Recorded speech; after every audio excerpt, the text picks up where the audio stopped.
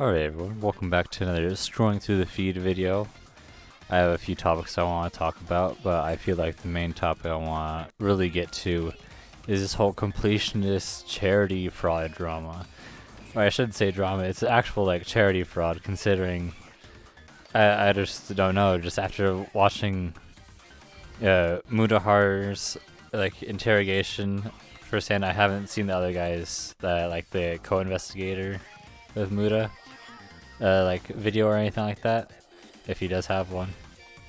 But I have seen uh, pretty much Muta's side. I've seen uh, the response, and uh, I've seen uh, then Mutahar's, I guess, response to the completionist's response, and it just doesn't go anywhere, which is really surprising, especially when all like you have to do to refute the claims is just kind of like show, I guess, like whatever receipts you need to, but it's just kind of like playing up your like mom, like your the reason that you made it for your mom and all that, and then all you show up is maybe like a tax write-off or just like a just like one piece of paper that doesn't really show the numbers or anything like that or track how like the money's been really spent. So I'm just it, it just confuses me just overall just watching the video. And then the OSL ended off you just kind of say you're stepping down from the company. So it's just like okay, so nothing has changed. Uh, I, I, unless I like missed it all, but like that, that's pretty much like the TLDR of like what I watched or understood from the videos or like the entirety side of it all. So, you know, the completionist seems to be going down in flames, and even the community has just gone completely dark. And uh, you know, it's also been kind of funny seeing all the people that you know kind of supported or believe the completionist to begin with they kind of just end up deleting their tweets or just backtrack entirely. So that's also neat.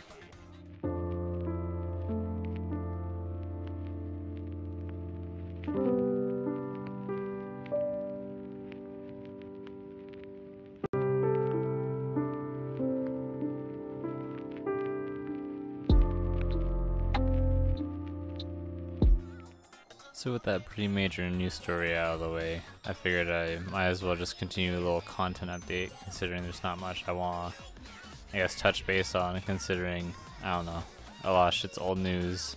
Johnny Somali is going to jail, because after he, you know, trespassed in a construction site, he's going to jail, and all that. Same with his uh, Twitch friend or whatever. Johnny's doing the same stupid stuff. He puts on a skeleton mask, goes to a construction site, and proceeds to be the amazing comedian he thinks himself to be. I am sorry. Oh, he's going in the warehouse, dog. Oh my god, Chad, what the f did I get myself into? His black friend's like, I'm just a cameraman. Man. Yo, dude, guess what? They have a zoom feature, dumbass. You should have zoomed in from a distance. Now you're an accessory, fool. You gotta love the black dude getting in on this. And he's already trying to come up with his alibi live. You'd think like he would bother to learn enough Japanese to go, I'm here to work, instead of just going, I'm here to work, like every Japanese person understands English.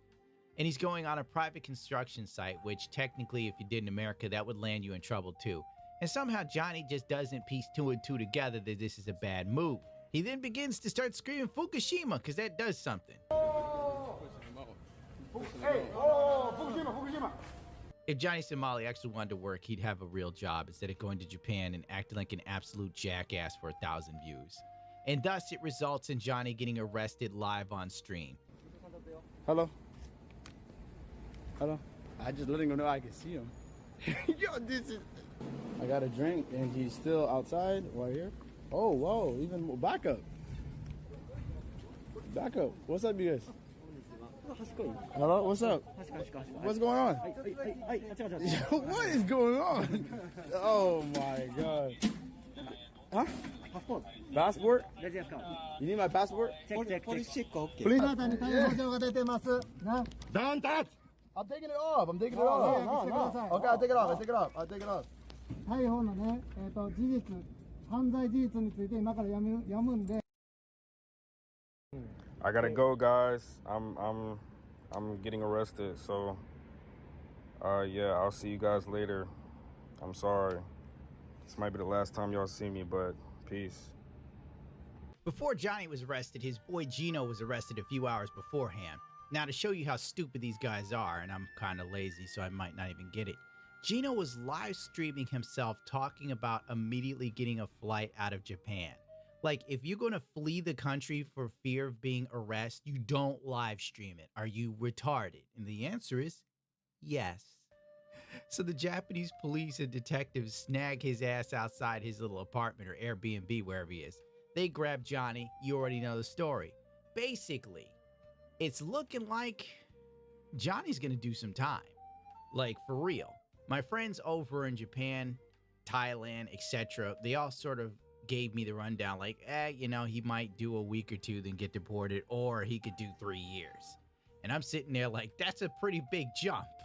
it's like, oh, he'll be in there seven days and they'll let him out, or he'll be in here for three years. They also said that the Japanese conviction rate is over 90%. I'm not even going to go get into that. That's a whole other documentary of crap that I already knew about. But frankly, yeah. Since it's been over a week and Johnny's made the Japanese news, Japanese news stations literally staked outside the police house where or did, wherever the hell he was with the police and he's smiling in the truck waving he don't even realize the danger he's in because he's that ignorant Well, with that clip, you can pretty much summarize how the entirety goes. But if you also just want to see the entirety of Johnny Somali and his trip to Japan, you know, I don't blame you because I've rewatched it multiple times over and over. Just because I'm like, how can you be this blatantly, you know, avant-garde? I guess I don't, I don't know what if that's the correct word exactly to say, but you're just you're just so bold and brazen towards the people that are so like conserved and quiet. But, you know, uh, I don't know. I can't explain it, especially with all his actions that he's done all the way over there. So, moving on, I feel like I should uh, also talk about the Ubisoft kind of just like choking at their entire situation with Rainbow right now. Considering if you know me or if you've been watching the channel for a little bit or if you just simply browse through the channel, I have uh, a good amount of Siege content. I've always enjoyed the game. I love the the practicality of it. You know, you have simple operators that have their own gadgets, their own weapons and shit. And then, you know, they also happen to be representing like the entire uh, like nations that they come from respectively, which just makes it entirely neat. However, over the years it seems Ubisoft has turned this tactical shooter into a high-speed shooter, where you're pretty much more uh, pre-firing and just using all the ammo you can before you die, instead of just, you know, tactfully going in there slowly, methodically, clearing whatever you need to. And it's just pretty much a gunfight with whoever like sees whoever first. And after seeing this, you know, recent patch notes with the new operator coming out, I was actually kind of excited to like see him like do something or like see how he'd work out. But they just kind of fumbled the bag with him. I wanted to use him for cryo damage and just slow people, but instead you're just kind of tracking people's movement with it and stopping uh, tactical gadgets with it, which is a real shame. Along with the small side note that you can no longer cook grenades anymore, only reducing the skill ceiling uh, that it takes to like participate in the game. So now instead of well-timed performed grenade kills that you can cook and throw at the enemy wherever they are sitting or where you spot them with your drone, you simply have to throw your grenades in there and hopefully that they take out another gadget. So, and don't get me even started on the, you know, bugs and all that that they still literally haven't fixed and or that, that keep popping up whenever they decide to, you know, add more dog shit to their title. And before, uh, you know, I hear the argument or I think of the argument as I say that, it's like, oh well, you know, why why is it so bad that you know the you can't cook grenades anymore? Well, the thing is like when you can't cook the grenades anymore, you toss grenades into the room or whatever that the person's holding in, and then they can just get up and walk away. And even if you swing on them, you still got to enter the room to swing on them. You can't just toss the nade in there and do damage or whatever you want. You can't just fully clear the room like you want to. And even then, you, you know, you can throw it in there and then the guy's probably just to get up and move out of the direction of the grenade. so with that little grenade rant out of the way and, you know, whole diatribe, not really needed, but I'm going to keep it in the video. I feel like it pretty much justifies like what I want to say, especially when I bring up the little picture in our tweet, a Bikini Bodhi, just, uh, you know, tweeting it's like, this is the worst, like, update or, like, you know, change to Siege overall and I have to agree with them. And I'm not even like financially beneficial or you know financially reliant. Um, like Siege is someone as like you know Bikini Bodhi is or you know Jynxzi, someone who literally just like streams the game just because you know it's like what they do.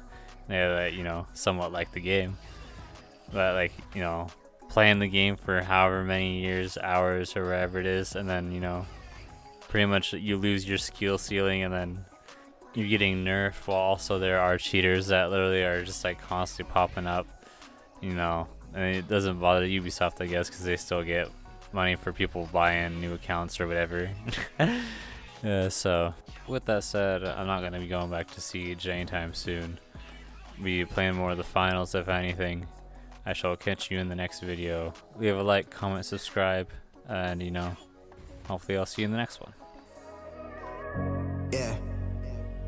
I just want like 10 rings while they marvel in my glory. One of the best you'll ever see. I'm just living out my story. What are the odds that I succeed? Good enough to try for it. What will it take for you to see that I will straight up die for it? Look, cause what it took for me to get to where I'm at, you need to take the weight of the world and strap it to your back. You need to flirt with death and hope he choose to turn his back. Cause once you decide on your fate, no, there ain't no turning back.